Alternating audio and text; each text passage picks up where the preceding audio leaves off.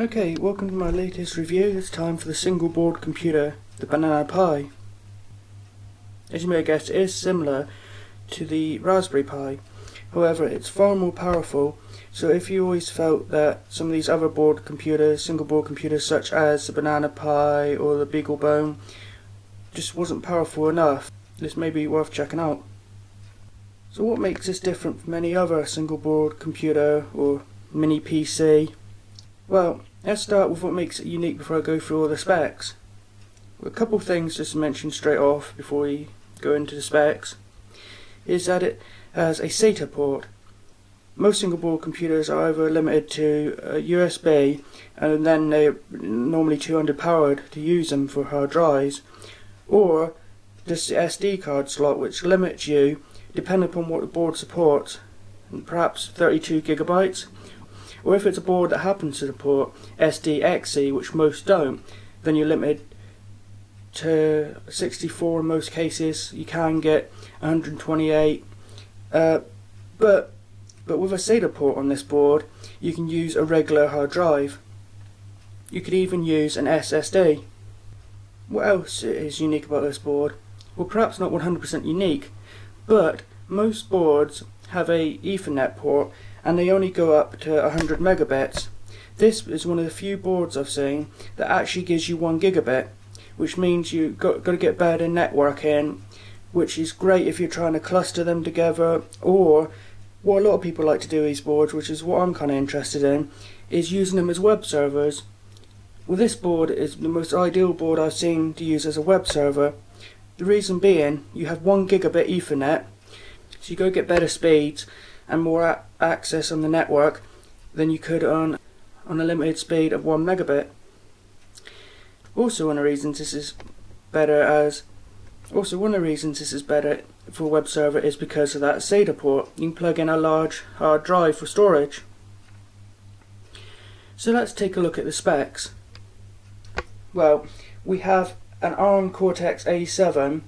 Um, unlike a lot of boards, such as the Raspberry Pi, this isn't single core, this is a dual core 1 gigahertz with I'm not sure if I'm saying this right, but Mali 400 MP2 GPU. It also has, unlike some boards, 1 gigabit of DDR3 DRAM, so that is twice as much as say the Raspberry Pi. For storage you can use an SSD card, card as I was saying before, however what I should warn you with that if, is you probably, if you want a lot of storage, you're going to probably want to use the uh, SATA port because it is only SDHC which means you can only use SD mini SDs up to a size of 32 gigabytes. So such as so in this camera for example I'm using a 64 gigabyte SDXC card where it isn't compatible because XC SDs are not compatible with this board so that is the only one of the really only real downsides although most boards do seem to not support XC and then you're limited to pretty much just using SD. This board, even though it is uh, limited to SDHC, you then got the ability to use a SATA uh, hard drive anyway, so it isn't as big a deal on this board. Uh, for storage, as I just mentioned, also is extendable with a S.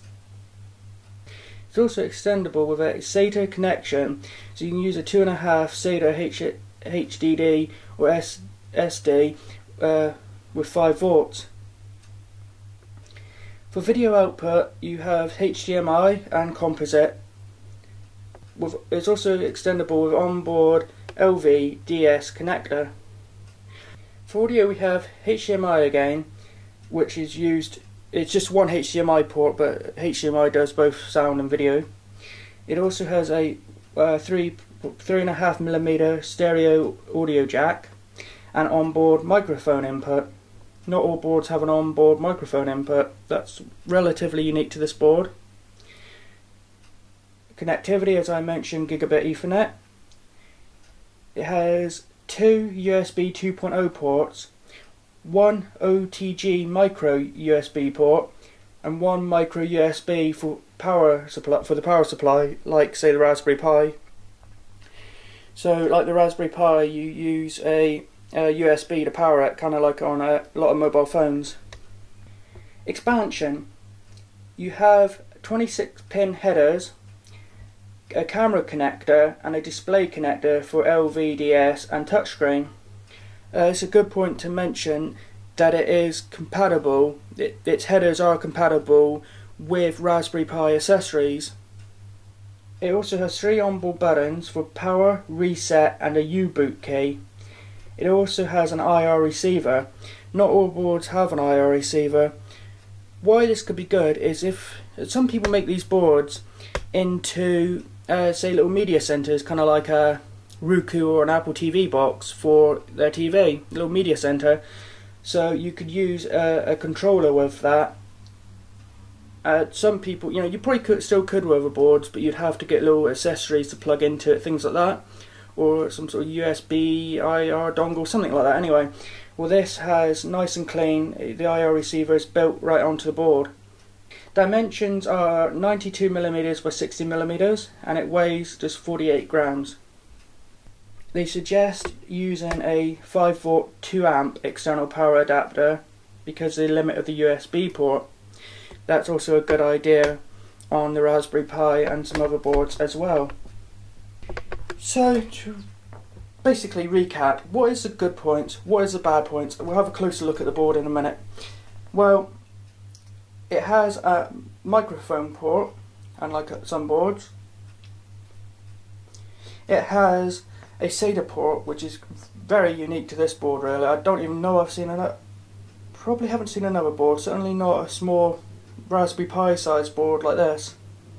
It also has an IR receiver, great for if you're making a media center. Uh, very few boards have 1 gigabit Ethernet, which is great if you, you, well, just in general, but also good if you're creating a web server or a cluster. Some of the boards do, but very few. Most don't have 1 gigabit, that's great. Its pins are also compatible with Raspberry Pi uh, accessories that use the headers. It's roughly the same size as a Raspberry Pi as well. I'd recommend looking at their website. It, uh, if you not only if you're looking to buy, but also if you already have one, I go to. I'll put a link in the description. But if you go to bananapi.org, not only is uh, information on getting the software. By the way, this board is compatible with Ubuntu, some boards, such as the Raspberry Pi, which I keep mostly mentioning that one because I have the most experience with that board, I've used that board the most and also it's probably the most well known. The Raspberry Pi, because it uses a different type of processor, ARM processor, it's not actually compatible with Ubuntu unfortunately. This board is, and there's instructions, and there is instructions on getting that.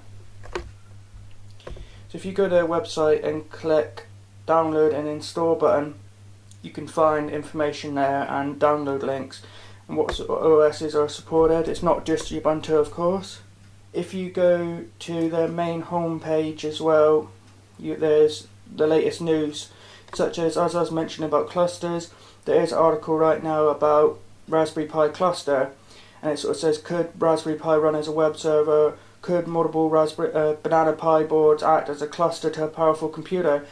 And there's an example of somebody doing that so it's definitely worth checking out if you want to run a web server or a cluster. There's an example of a DIY Raspberry Pi laser engraver and various other news articles as well such as an article here actually on measuring the power consumption of the board and they also have a forum and a wiki as well so definitely recommend going there if you see at the front here, closest to the camera, there is a very obvious silver port which is a HDMI. And then next to that is the SATA port I was talking about. I should also note it does have mount holes as well on the board. The reason I'm not really getting as close as perhaps I normally would is because my tripod's broken so I'm trying to be the cameraman and hold the camera steady so it don't fall forwards and look at the floor. So I'm sure this is a more interesting angle than the floor. So, never mind. Hopefully do something about that soon. Let's turn the board around. Here, whoop, Here we have the two USBs and an Ethernet there. Uh, and you can see a couple of the mount holes near it as well there. I won't go into every little port, I'm just sort of highlighting the main ones. And here you can see some pins to the right, an audio jack there in yellow. And you can see it's got CE and FC markings as well. I'm not sure if you can see it from this angle. Not sure how well you can see, but this side does have the little connection there for the power. You also have a serial number sticker on the top as well. It's sort of a dark blue colour I haven't mentioned before. Let's just sort of turn it over.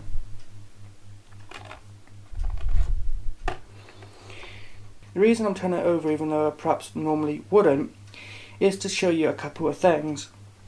First off, there is the processor. It's on the bottom for some reason on this board. Uh, you should also note that the audio jack, kind of like on the Raspberry, and a couple other ports do overlap the board. Also over here as well. So that's something to bear in mind when, say, making or choosing a case. You should note that the some of the ports do overlap. Is this unique to this board? No, because like the Raspberry, at least the audio jack does overlap as well. So how could this board be improved in say a Banana Pi 2? Well, like I say, uh, the addition of SDXC support would be good, although not absolutely vital on this board thanks to the SATA port.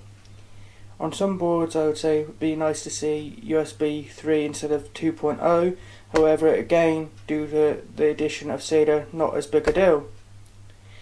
The only other thing I can really think of that would improve this board would be the addition of Wi-Fi. So, so somebody's using this as a media center, and not really very close to where they can plug it into an Ethernet. They could, would have the option of using Wi-Fi. Although it may be possible to find uh, some sort of additional use on this to use Wi-Fi, such as just plugging in a USB dongle. But like I say, that's not ideal, not the cleanest way. It'd be nice to have on board.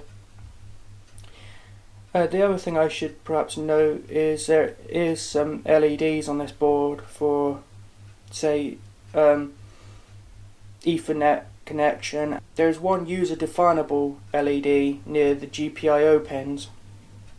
So do I recommend this board? Yes, definitely, because this has basically the best of both worlds. You know, it's unlike other boards, it's got pretty much everything I can think of.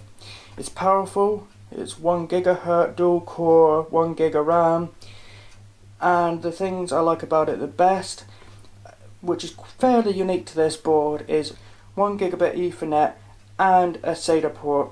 So you're making something like a web server or a cluster, brilliant, and few boards I can say it about. What's down? What's a plus side of say getting a Raspberry? Well, it's a non-profit organisation, so you're sort of helping fund that organisation, uh, which is a good thing and it is a good board. But if you want more power, you want something really a bit more powerful, especially for say a web server, I could only recommend really this board. So if you have any comments, just add it to the comments below or message me. If you've got any questions, don't hesitate to ask. And I hope you like this review and I thank the creative the company for sending this out to me. And please like, comment and subscribe.